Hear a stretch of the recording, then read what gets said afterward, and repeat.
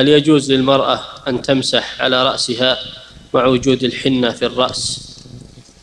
إي نعم الحنة ما يمنع الماء. الحنة ما يمنع الماء.